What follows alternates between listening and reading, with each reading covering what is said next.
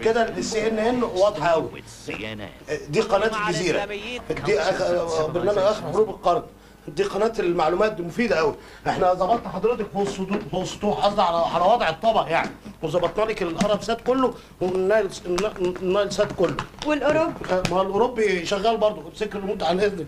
أنت رايح فين؟ مش خلاص كده ولا إيه؟ خلاص إيه؟ وأنا هقعد طول النهار اتفرج على الأخبار ولا إيه؟ بقول لك إيه؟ نعم. أنا عايزاك تظبط لي قناة الاكس إكس إل.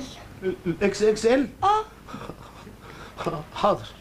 بقول لك إيه نعم. ما لاقيش معاك الكارت المضروب اياه لا لا صدقيني يا هانم أنا ما بشتغلش في المضروب خالص. طب اظبطه. الاكس إكس إل. ما تظبطه الفيلم هيروح. أنا بظبطه أهو. أنا إيه كان شغلني الشغلانه المنيله دي. سامحني يا رب سامحني يا رب. أيوه. أهو، أهو، أهو، حضرتك.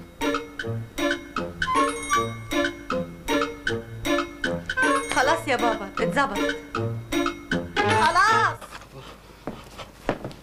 انت رايح فين؟ ده أنا تعبان قوي قوي قوي قوي يا أبونا. أنا أنا حياتي كلها متعقدة. مش عارف أعمل أي حاجة خالص. انت عارف يا أبونا أنا أنا بشتغل إيه؟ أنا بشتغل شغلانة وحشة قوي قوي أنا اللي بفسد الناس بإيدي دي. بس هعمل إيه؟ و- ولما بنام بالليل يا أبونا بشوف أحلام وحشة وحشة قوي أحلام ما يصحش أحلام ما ترضيش ربنا. و- وبقوم من النوم وأنا وأنا ما تعيطش ما تخافش. أنا أنا خلاص كبرت. متهيألي اني مش هتجوز ابدا. هتجوز خلاص لا أنا ما ينفعش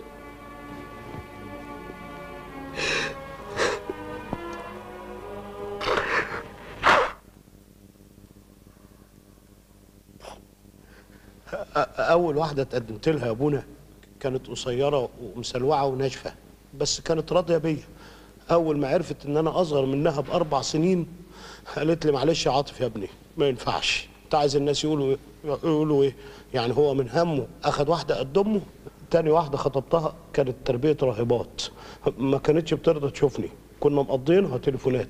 جات لنا تليفونات السنة دي يا أبونا بقط وسط وجت في الآخر قالت لي معلش يا عاطف أنا هدخل الدير. ودخلت الدير؟ اتخطبت لواد صايع بتاع بنات. ملوش في التليفونات عملي. مش كنت أنا أولى يا أبونا. التالتة الحقيقة كانت ماشية معايا زي الفل. قبل ما نعمل الإكليل قلت معلش يا عاطف مش هينفع. أنا كشفت والدكتور قال لي إنك مش هتخلفي. بس الله يمسيها بالخير أم بطرس كانت دغري. بطرس مين يا ابني؟ ابنها. ما بعد ما سابتنا على طول اتجوزت وجابت بطرس ومرقص وفيبي رابع واحدة بقى. ما أقولكش. عملت معايا عمايل. هي ما كانتش حلوة قوي. بس كانت لونه كانت بتعمل معايا حركات كده زي ما تقول يا ابونا. كانت بتسرد يعني. وبعدين فجأة اتصل بيها واحد كان بتحبه زمان من أمريكا. سابتني وراحت له على أمريكا. الله يسامحها بقى هي وأمريكا. حبيبي يا عاشق يا حر زي لما نفسي يا سيد تاخدني على حصان زيه. هيحصل يا بنت. هاخدك أنا مرة بقى نزله السمان وأركبك خيل وأوريك ركوب الخيل اللي على أصله. لو أنت بتعرف تسوق حصانه تسوق حصنه إيه الجهل ده يا بنت؟ اسمها تعرف تركب خيل. تعرف تركب خيل؟ خيال. طب إيه رأيك بقى؟ أنا لما ببقى حابب بقى ليا مزاج كده أحلق لزبون حبه باخده نزلة السمان أقعده قدامي على الحصان وأقعد أحلق له. ما بيتعورش؟ لا ده بيتبهدل طبعا. ده أنا مرة قطعت قرعة واحد. اوعى تغير المحطة.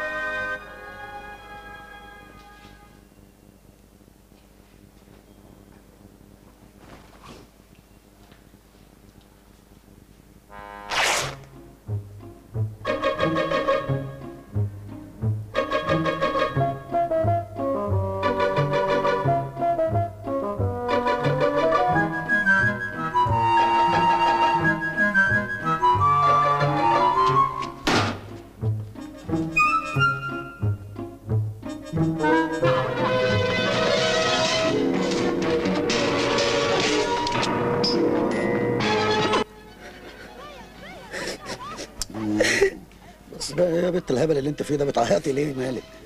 ده هيموتها بمسدس يا سيد. يا بنت مش هيموتها ولا حاجة ده عامل عليهم فيلم كده في الأول. دول هيتجوزوا آخر الفيلم. انت إيش عرفك ما أنا شفته ثلاث مرات مش قايل لك أنا. طب طب وإحنا يا سيد هنتجوز إمتى؟ عملت إيه في موضوع الشقة؟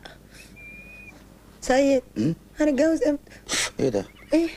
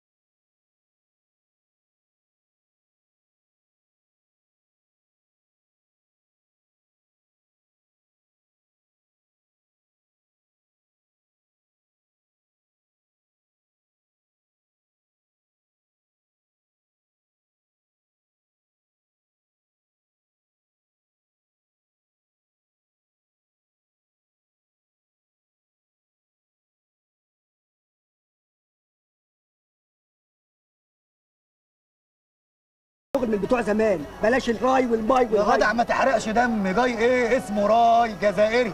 شقلد العقمبان العجل من خدها العقود بالله راي راي. أنا هنفضل نفهم المنطقة دي لغاية إمتى؟ إنما بالسيد عايزك تبيض وشي قدام المعازيم. ماشي ولو ان حلاق بس برضه هبيض لك وشك.